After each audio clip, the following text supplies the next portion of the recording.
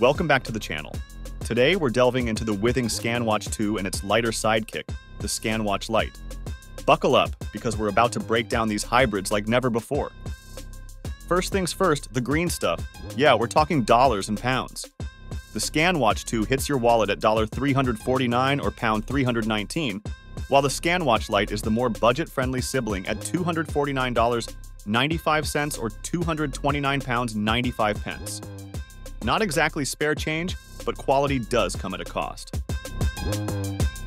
Speaking of quality, the ScanWatch 2 goes high-end with sapphire glass, while the light settles for Gorilla Glass.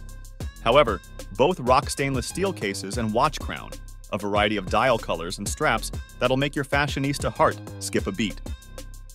The ScanWatch Light, being the younger sibling, flaunts a 36.8 mm case, while the ScanWatch 2 flexes its muscles with 38 and 42 mm options. Weight-wise, the light is a feather, at 27.1 grams, while the 38mm ScanWatch 2 isn't too shabby at 34.6 grams. Moving on to screens, both watches showcase the same grayscale 0.63-inch OLED displays. And yes, they're not touchscreens, but they'll flash your texts and metrics. However, the ScanWatch 2 throws in a curveball, a non-digital subdial for showing off your activity progress. Fancy, right? Health and fitness time.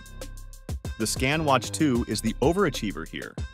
It's got an altimeter, skin temperature monitoring, FDA and CE approved ECG for irregular heartbeats, SpO2 monitoring, and a 16 channel PPG optical sensor extravaganza.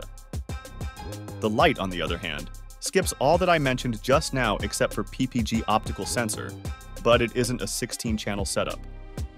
Even without the fancy extras, the ScanWatch Light still has your back.